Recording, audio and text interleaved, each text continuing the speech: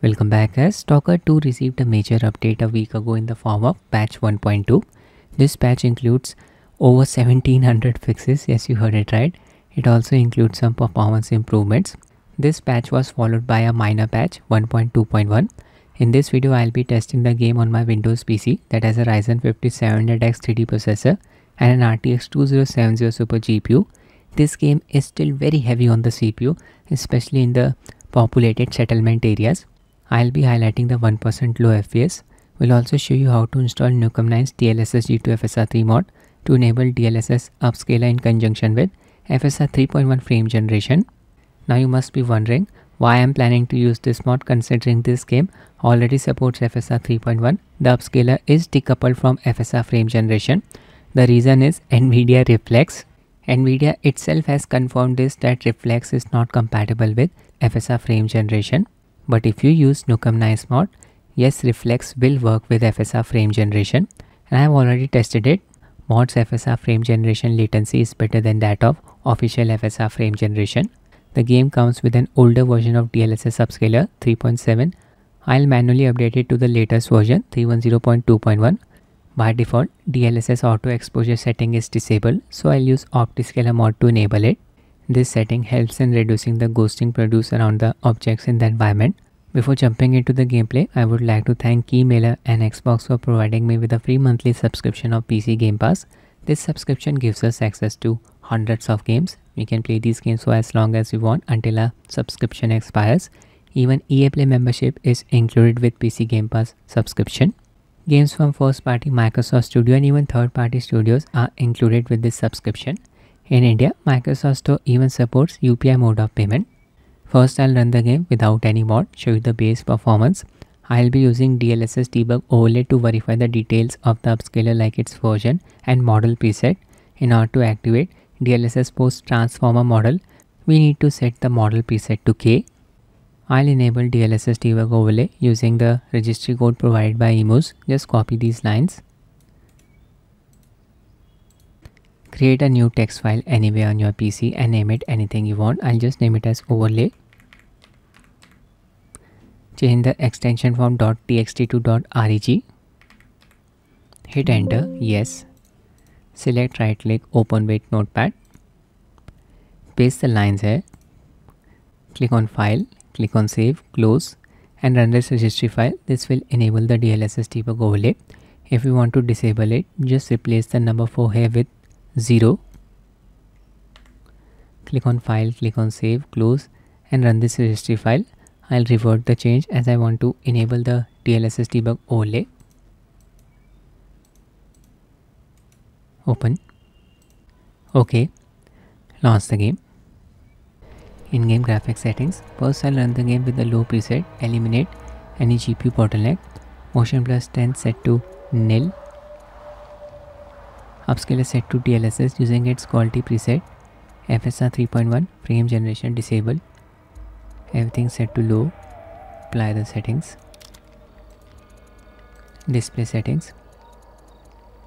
Full HD resolution.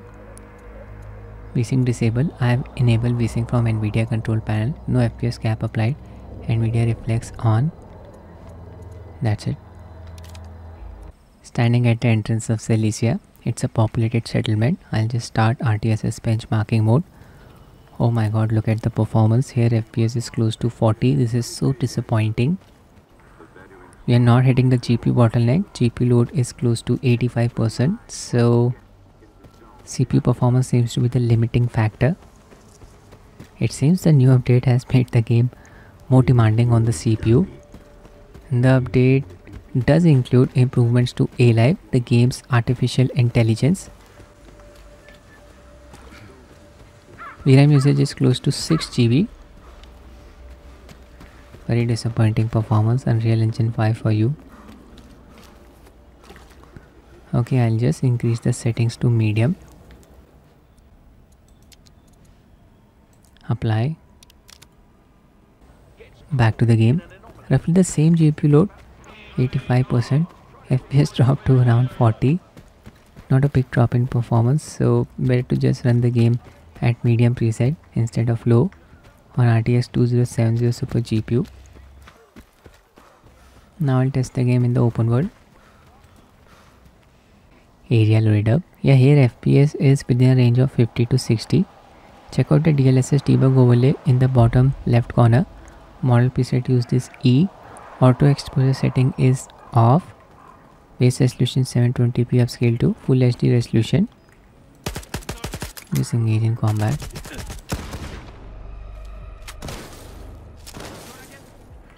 It's a bit dark in here. Almost hitting the GPU bottleneck finally. Okay now I'll install Nukem 9's mod I'll be using build 0.122 universal version of the mod this mod is only compatible with RTX GPUs you can download it for free from Nexus mods need to have a free Nexus mods account in order to download any stuff from here click on manual download under universal version then click on slow download Download the latest nightly build of OptiScaler from its GitHub page. I'll give its link in the description. Click on the .7z link here under asset section. First I'll install OptiScaler mod. Open the mods archive file. Copy the highlighted files, four of them. Need to paste them in the game's install directory. Open Xbox PC app, click on My Library, select the game, click on the three dots here, then click on Manage here, click on Files, click on Browse. Your game size is around 143 GB open the games install folder open content folder open stalker 2 folder open binaries folder open WinGDK folder paste the files here replace change the name of nvngx.dll file to dxgi.dll open optiscaler.ini file. Just need to set fg type to nukems this will activate Nukem 9 mod click on file click on save close. Now I'll install Nukem 9 mod open its archive file. Open dll underscore version folder just copy this dll file dlss g2fsr3 amd is better need to paste it in the same directory where we pasted optiscaler mod files right here now I'll manually update DLSS upscaler Download its latest version from TechPowerUp's website. At the time of recording this video, it's 310.2.1. Click on download here. Click on any of these servers, download will start. Open the Upscaler's archive file, copy this DLL file, open the games install directory. I'll show you where to paste it. Content folder, engine folder, plugins folder, marketplace, DLSS, binaries, third party, Win64. Check the version of the existing upscaler 3.7.2 replace it with the latest version check the version now highlight the file 310.2.1 now make sure hardware accelerated GPU scheduling setting is enabled on your PC right click on the desktop click on display settings then click on graphics click on advanced graphics settings. Enable hardware accelerated GPU scheduling setting from here. If your monitor supports variable refresh rate enable it as well. I'll enable VSync from NVIDIA control panel. Click on manage 3d settings here. Click on program settings. From this drop down bar select stalker 2 scroll down to the end enable vsync from here And nvidia control panel vsync combined with in-game reflex will cap the fps at a value slightly lower than our display's max refresh rate value for example, if your display supports up to 144 Hz refresh rate, FPS will be capped at 138. My display supports up to 240 Hz refresh rate, so FPS will be capped at 225. This produces a very smooth looking animation with low latency. My monitor is G-Sync compatible. I'll enable the corresponding settings for it. Click on setup G-Sync here and enable the following settings.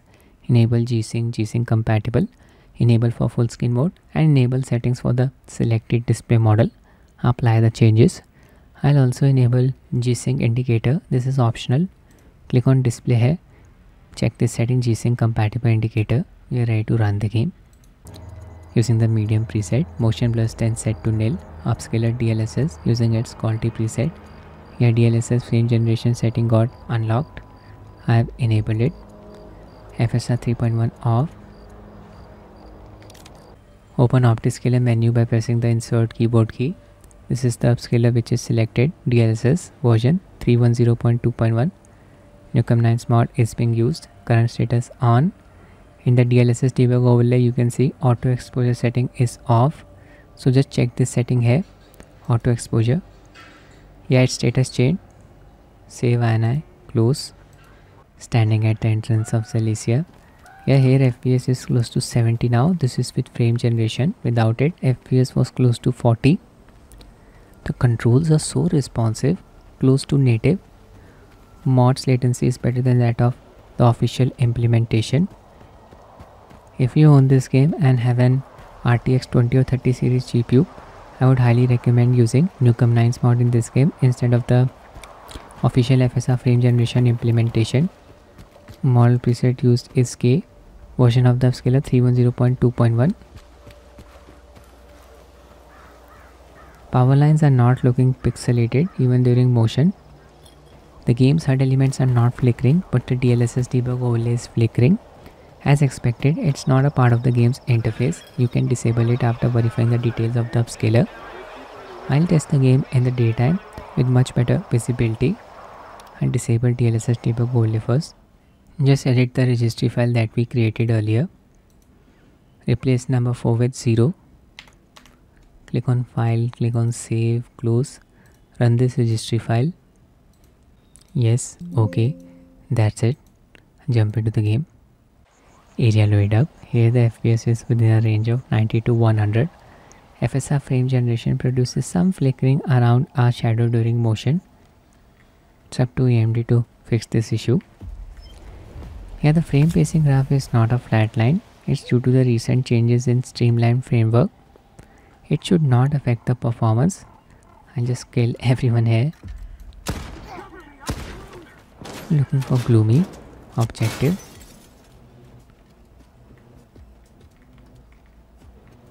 Enter this dilapidated building. Turn on my flashlight, it's so dark. 80 to 90 fps with frame generation on. This is really very disappointing. But Nukem 9's mod does a good job of improving the game's performance while keeping the latency in check unlike the official FSR 3.1 frame generation implementation. Dead. So that's it with the video guys. I hope you find it useful. Thanks for watching and have a nice day